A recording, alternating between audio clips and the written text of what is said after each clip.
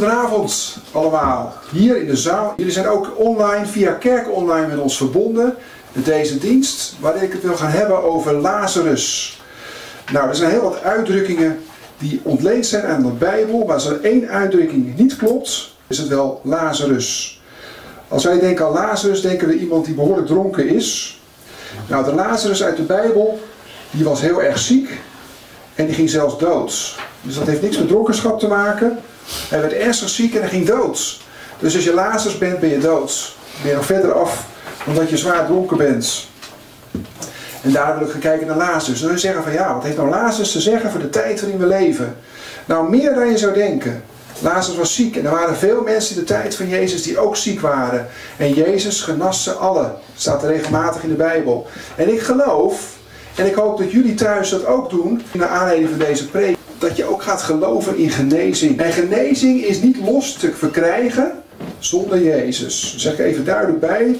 Dus als je ergert aan de naam Jezus, dan zou ik zeggen, klik weg. Maar als je zegt van nou, die Jezus, daar heb ik al eens over gehoord. En hij boeit me toch eigenlijk wel ontzettend. Want ik ben erin opgegroeid. Ik heb er nou helemaal niks meer mee. Maar ik heb een collega, die had het over Jezus. Die was naar een openlucht geweest. En die was aangeraakt door de kracht van Jezus. Die was zomaar genezen. Nou, dan ga ik hier niet lopen zeggen dat mensen die corona hebben niet in God geloven. Dat treft ons allemaal. Ik ga me niet verheffen, ook als kerk niet, ook als leider niet, dat wij de wijsheid en pacht hebben dat het allemaal ons voorbij gaat. Dat is niet waar. Ook christenen worden ziek en ook christenen zijn gestorven aan corona. Ja. Ik wil met jullie kijken vanavond naar een boekje wat je misschien helemaal niet kent, maar dat maakt ook helemaal niet uit. Als je eraan kunt komen, je kunt het gratis downloaden van internet. Het is van Theodore Austin Sparks. En Sparks, dat zijn in het Engels vonken. Als je het vindt op internet en je opent een pdf-file, dan kun je het zo binnenhalen. Het kost je helemaal niks. En het boekje heet In de leerschool van Christus. Een prachtig boekje. Ik ga een korte samenvatting geven. Omdat er allemaal dingen in staan die ook voor deze tijd van groot belang zijn. Nou, Sparks was iemand die een voorbeeld was van Watchman Nee. En misschien kennen jullie Watchman Nee wel. Dat was een dominee in China. Die is een groot deel van zijn leven vervolgd heeft heel veel in de gevangenis gezeten, is gemarteld en alles vanwege zijn geloof in God, in de Heer Jezus. En dat heeft hem heel veel gekost. Maar deze man heeft diep onderwijs gegeven, heeft diverse boeken ook geschreven. Hij was geïnspireerd door Sparks, een Engelsman. En hij bezocht hem ook toen hij vrij was, ging hij naar Engeland toe om Sparks te bezoeken. Dus als je denkt van Watchman Nee, waar heeft hij zijn wijsheid vandaan? Nou, allereerst uit de Bijbel, maar hij is ook zeker geïnspireerd geweest door Sparks.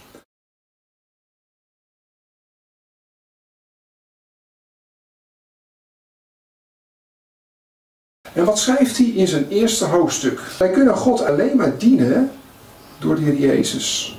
En daarbij, we hebben ook de Heilige Geest nodig. Dus heb je wel eens van de Heer Jezus gehoord? Nou, top. Maar je hebt ook de Heilige Geest nodig. En de Heilige Geest is ook God. Wij dienen niet drie verschillende goden.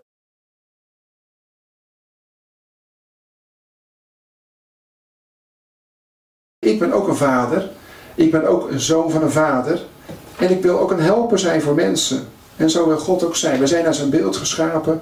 Dus het is helemaal niet zo ingewikkeld dat God het aspect heeft van de Vader, de Zoon en de Heilige Geest, die ook de helper is. God laat ze op verschillende manieren zien. En dat is voor ons belangrijk. Als je alleen als Vader kent, dat is fantastisch. Maar als je niet weet dat hij voor jou gestorven is aan het kruis, ja, dan mis je gewoon een onderdeel van wie God voor jou wil zijn. En de Heilige Geest is misschien wel minst bekend.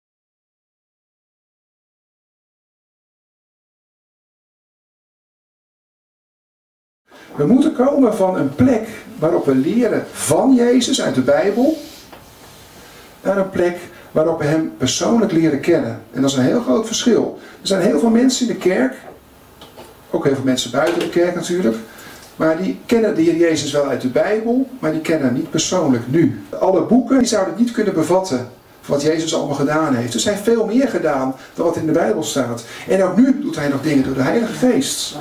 Dus daarom is het belangrijk dat je de Heer persoonlijk kent.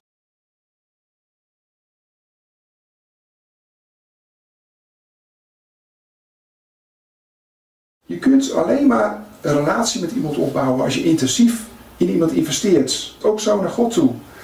En wat hij ook aangeeft, dat God niet zomaar een concept is, een idee is, maar hij is een persoon. Door de Heer Jezus, met hoofdletter J. Jezus is een persoon. Openbaring, daar spreekt hij over in het derde hoofdstuk. Dat God zich laat zien aan ons. En je ziet altijd in de tijd van de kerk dat we God eigenlijk een beetje uit het oog zijn verloren. Dan moeten we weer terug naar de Heer Jezus. Want zonder de Heer Jezus is er geen openbaring van Gods. En God zal ook ons testen. Ik denk dat we ook in een periode leven dat God ons aan het testen is. Waar bouw jij nu vertrouwen op? Misschien zit je wat te kijken. Heel veel mensen zullen zeggen van, joh Roberts, ik heb een lijstje waarvan ik belangrijk vind. Dat is mijn familie, vind ik super belangrijk. Ik vind mijn gezondheid heel erg belangrijk. En zo hebben mensen nog een aantal dingen. Werk, relatie. Maar daar wordt nu behoorlijk aan gewrikt. Het doet wat met je. Daarom is het belangrijk om te kijken dat God zich wil openbaren. En ik zeg niet dat deze ziekte van God komt. Maar ik geloof wel dat niks buiten hem omgaat. Dat hij ook zijn hand hierin heeft. Om mensen te bepalen van jongens, hé, hey, ondanks alle spanningen die er zijn in deze wereld, ik ben er nog steeds. En ik ben machtig om grote wonderen te doen. Nou, we gaan een aantal van die wonderen kijken straks. Uh, hoofdstuk 4 heeft het over het altaar, de doop en het opleggen van handen. Nou, dat heeft allemaal te maken met dat Jezus de zonde van ons droeg. Alle verkeerde dingen.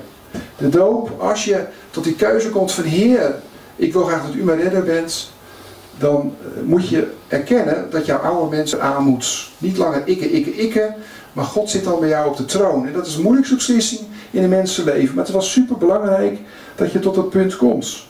En dan kan ik ook straks weer verbieden. Als je zegt van, nou, ik ken de Heer Jezus eigenlijk nog helemaal niet. Maar ik zie wel de noodzaak, omdat ik een zondaar ben, iemand die buiten God omrekent, dat ik hem moet leren kennen. En dat ik mijn oude leven ook mag afleggen dan. En het opleggen van handen, dat betekent dat je bij zijn familie mag horen. En misschien zit je wel heel eenzaam te kijken op je laptopje nu thuis en zeg je van nou ik heb helemaal geen familie eigenlijk.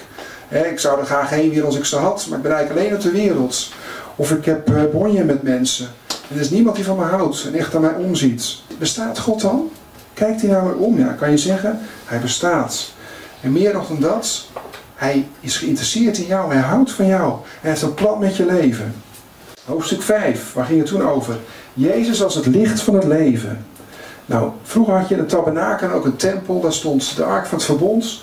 En God was er aanwezig als een licht boven het verzoendeksel tussen de engelen. Nou, misschien ken je dat verhaal wel. In het hoofdstuk legt hij ook uit van, Jezus is het licht van het leven.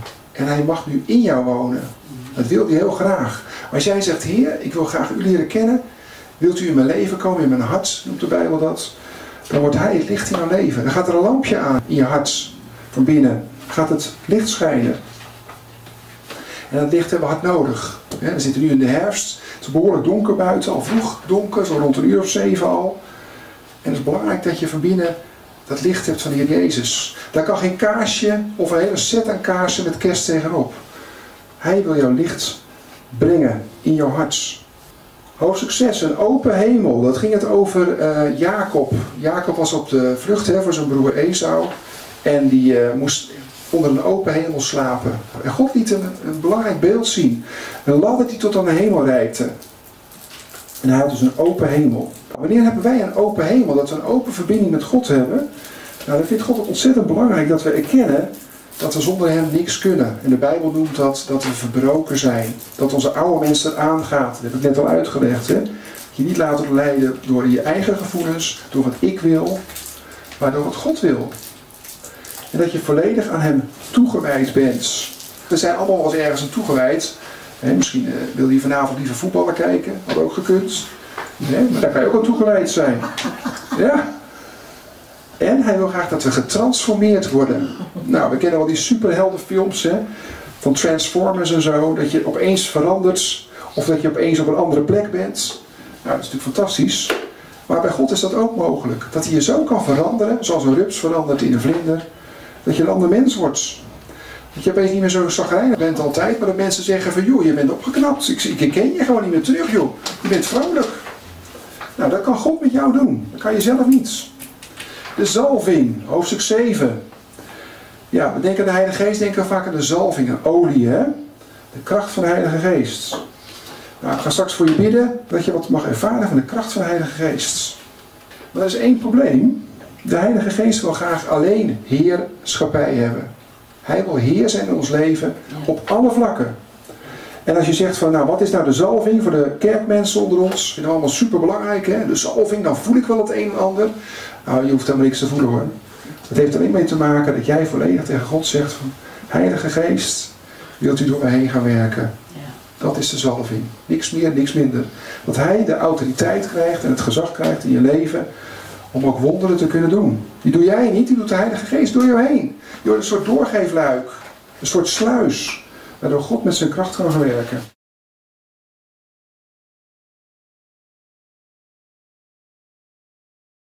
Nou wil ik gaan naar Lazarus.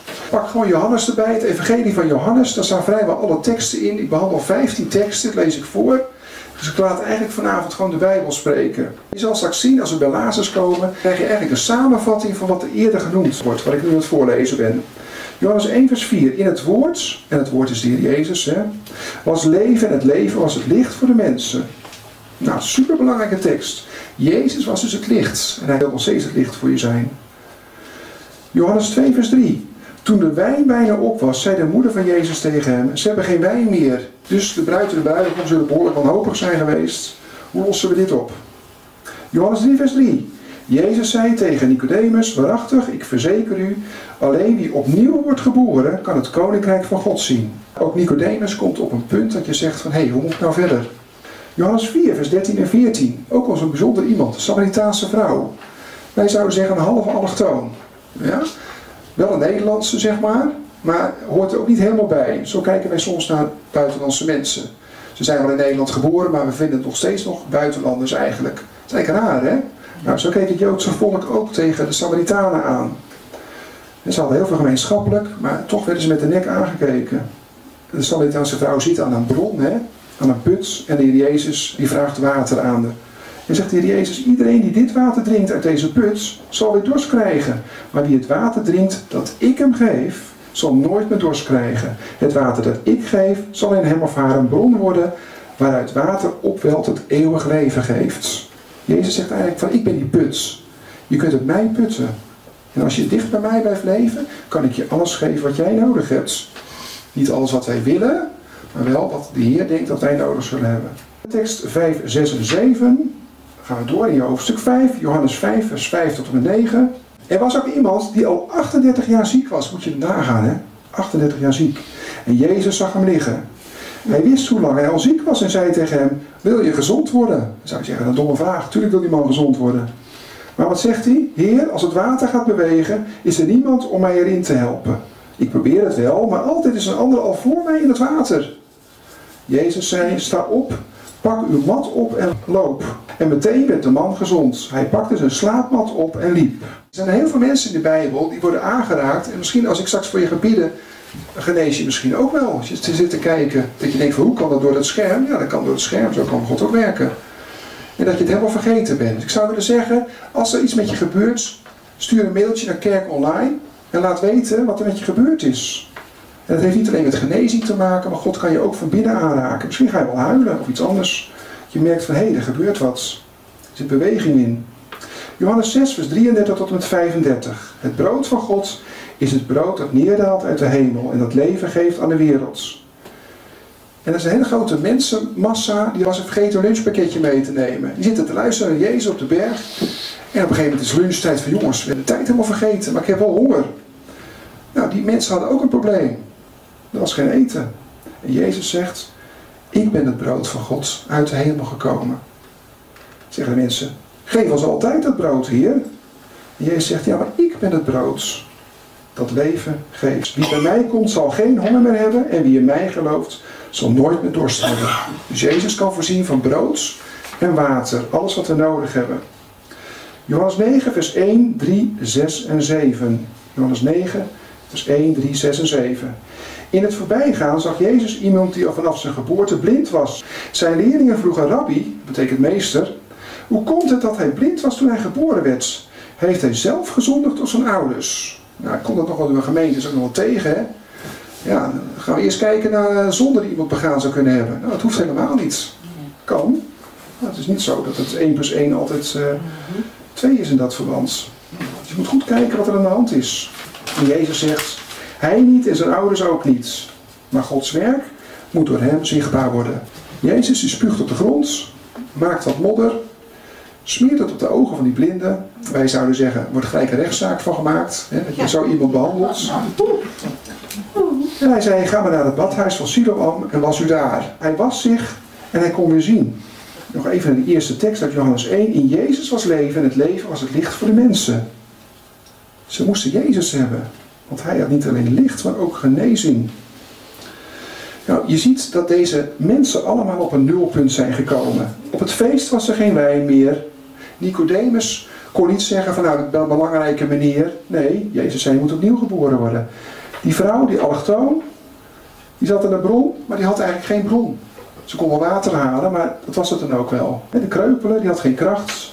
De mensenmenigte had geen eten en de blinde had geen zicht. Dus wat hadden al deze mensen gemeen? Ze zaten op een nulpunt. Lager dan nul kun je niet komen. Dan ga ik naar Johannes 11. Want ik had het over Lazarus in het begin. Ga ik nog even terug.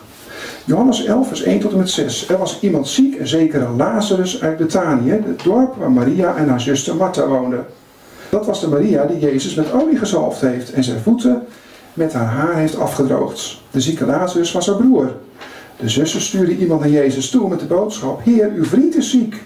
Toen Jezus dit hoorde, zei hij: Deze ziekte loopt niet uit op de dood, maar op de eer van God, zodat de Zoon van God geëerd zal worden. Jezus hield veel van Martha en haar zuster en van Lazarus, maar toen hij gehoord had dat Lazarus ziek was, bleef hij toch nog twee dagen waar hij was. Snap jij het? Ik snap er helemaal niks van. Jezus weet dat de nood aan de man is en hij blijft nog eens twee dagen. Gaan we verder. Johannes 11, vers 17. Toen Jezus daar aankwam, hoorde hij dat Lazarus al vier dagen in het graf lag. Johannes 11, vers 21. Martha zei tegen Jezus, als u hier was geweest, hier, zou mijn broer niet gestorven zijn. En zegt Jezus in vers 23, je broer zal uit de dood opstaan. Niet alleen Jezus is opgestaan uit de dood, later, maar hier zien we de eerdere opstanding van Lazarus, wordt al aangekondigd. Vers 25 en 26, maar Jezus zei, ik ben de opstanding en het leven. Wie in mij gelooft zal leven, ook wanneer hij of zij sterft. En ieder die leeft en in mij gelooft, zal nooit sterven. Geloof je dat? Nou, dat geldt nu ook nog mensen. Als jij denkt van nou, als ik straks corona krijg en ik heb het heel erg en ik kan misschien wel doodgaan eraan. Waar ga je dan heen? Belangrijk om stil te staan. Je kan denken van ja, ik heb nu nog geen corona, dus mij kan niks gebeuren. Ik ben immuun, denken sommige mensen. Het is allemaal maar uh, complot en zo en uh, fake ziekte. Nou, mijn moeder heeft ook corona gehad. Het is echt een ernstige aandoening. Een heftige griep is dat hoor. Kan je aan dood gaan. Maar waar ga je dan heen? Hang je dan zo aan het leven? Of kan je het loslaten? Waar ga je dan heen? Nou, de Bijbel is er heel duidelijk over. Er is een hemel en een hel. Als je God naast je neerlegt heel je leven en ook als je ergens ziek wordt en je sterft, ga je naar de hel. En zeggen we, ja, heb ik al uh, een beeld bij. Nou, ik denk het niet. Ik denk als God zich op dit moment terugtrekt uit de wereld, als hij het echt zou doen, realiseren we ons niet wat er gaat gebeuren. Dan wordt het pikken donker, dan wordt het koud, het is dood en verderf, daar wil je niet zijn. Dat is erger dan de ergste gevangenis. Dat is de hel, noemt de Bijbel dat. Als God er niet is, dat is eigenlijk de hel. Nou, de Bijbel zegt er nog veel meer over, maar spoort ook je aan om een keuze te maken. Kies je voor of tegen God? De keuze is eigenlijk heel simpel. Als je voor God kiest, mag je door Jezus weten dat je gered mag zijn. Als we kijken naar die verhalen hè, van die genezingen en van die wonderen. Lazarus had ook geen wijn. En wijn staat voor uh, voorspoed. Nou, hij was ziek, hij had helemaal geen voorspoed. Uh, wijn staat ook voor vrede. Hij had ook geen status, want hij had helemaal geen gezin. Hij had wel twee zussen, hij had helemaal geen gezin. Dus hij liet helemaal niks achter ook. Hij had ook geen bron. Hij was helemaal opgedroogd toen hij stierf. Hij was levensloos, hij had ook geen kracht, net zoals die kreupelen. Zijn maag was leeg. Geen eten meer in. En hij was totaal leeg. Als je iemand kijkt die dood is, zijn zijn ogen leeg. Dat is wat de dood met je doet. Dus al die wonderen bij elkaar worden opgezond eigenlijk in. Dus een samenvatting van alles wat ervoor staat.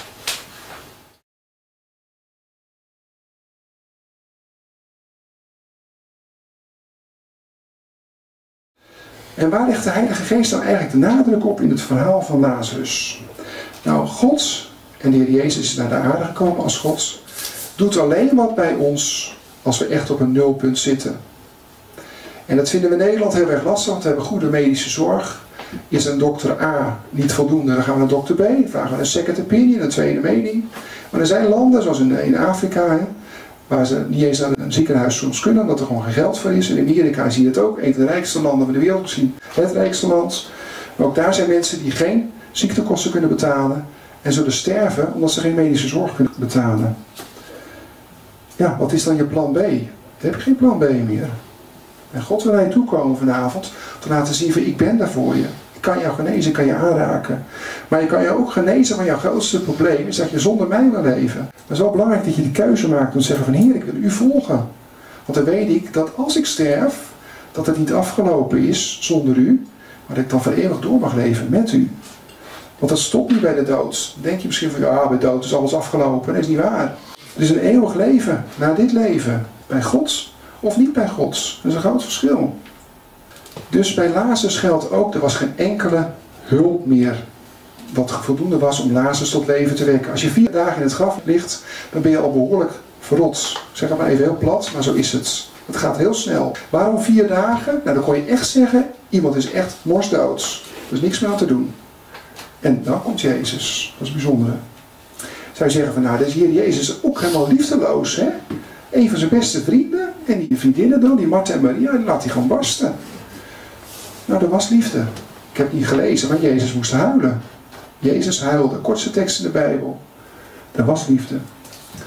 In dat nulpunt van die zussen was er geen gebrek aan belangstelling bij Jezus. Ook geen gebrek aan medegevoel of liefde. Die is er. Maar God wil een belangrijk principe leren in dit verhaal. Sparks noemde het in het boek uh, een wet.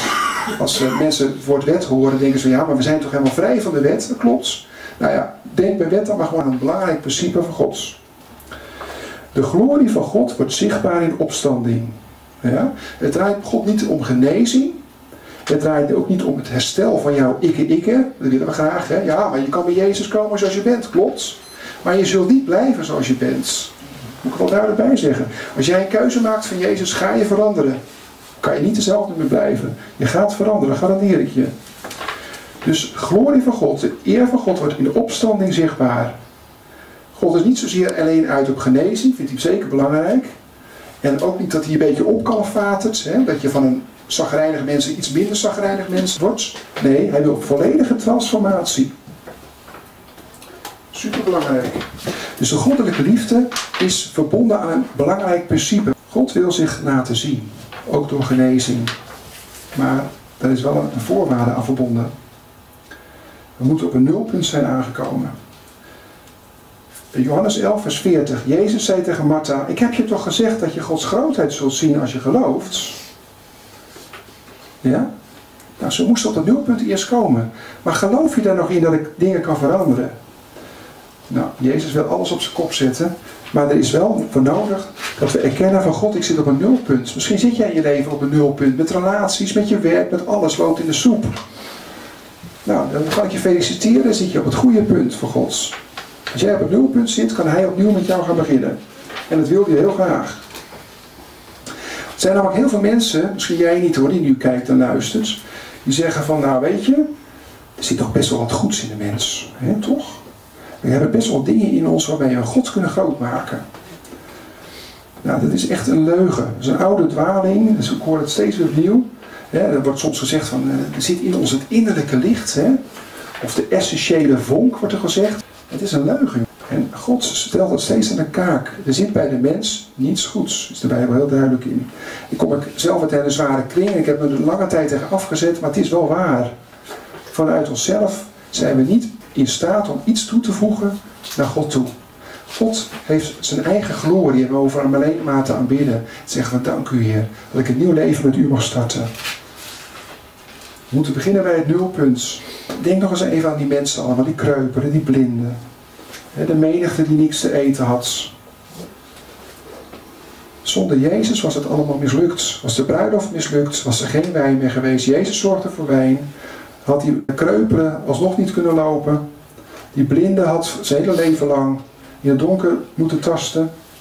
En Lazarus was gewoon doodgebleven. Het is belangrijk dat we, ook al ben je een christen, dan ken je God al heel lang, dat je erkent naar God toe van ik zit op een nulpunt. Nou, als je op een nulpunt zit, nogmaals, kan God grote dingen gaan doen in je leven. En wat is het grote doel van God? Dat het tot eer van Hem leven. Dat Zijn glorie, wie Hij is. En daar hebben we een hele eeuwigheid voor nodig. Dat is niet eventjes in vijf minuten uit te leggen. Hoe groot God is. Als je in de eeuwigheid bij Hem mag wonen. Elke seconde gaat als het ware een vuurpijl ontploffen. Dat je denkt, oh weer iets nieuws van God. Oh weer iets nieuws. Zo groot is Zijn glorie. 1 Corinthians 1 vers 31. Ene laatste vers opdat het zal zijn zoals geschreven staat. Wil iemand zich op iets beroemen, laat hij of zij zich op de Heer beroemen. En er zit ook nog een belofte aan, dat is de laatste tekst, daar eindig ik mee. Jezaja 48 vers 11, vertaald vanuit het Engels. God zegt, ik zal mijn glorie niet met een ander delen door toe te staan dat de afgoden aanbidders jullie zullen verslaan. God zal zijn glorie bewaken door zijn volk te beschermen. God zal ook nu zijn glorie bewaken. Hij komt er voorop. We kunnen allemaal denken van we hoeven niet met God te rekenen.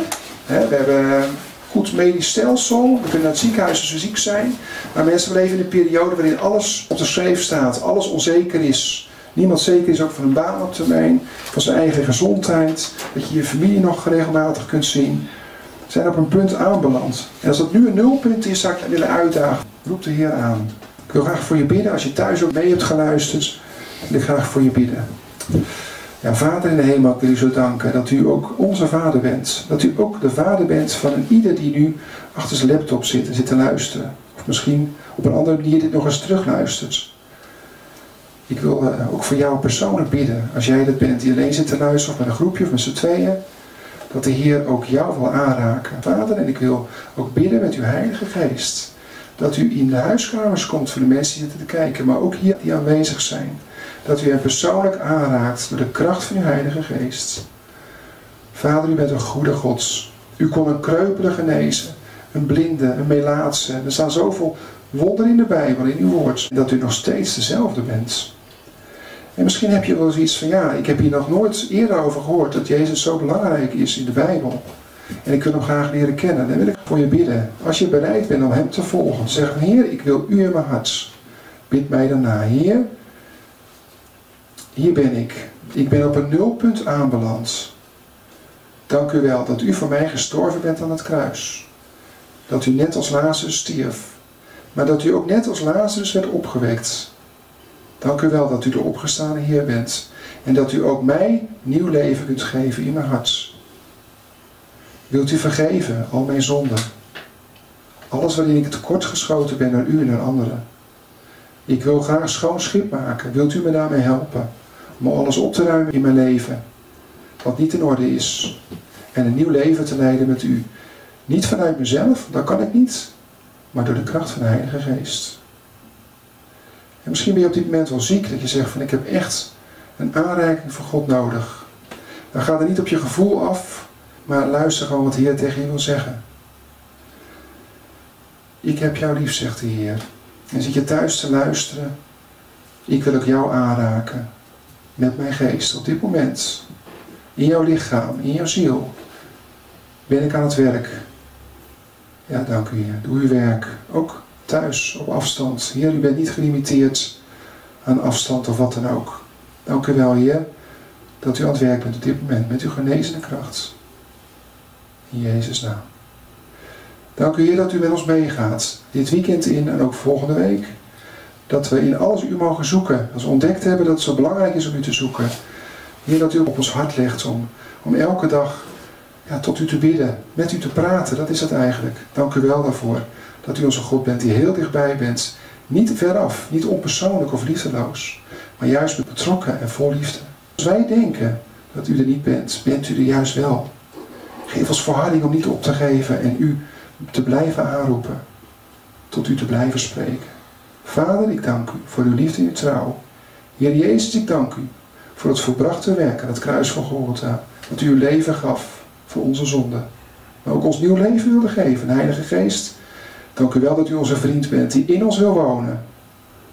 Om God nog meer duidelijk te maken in onze levens. Amen.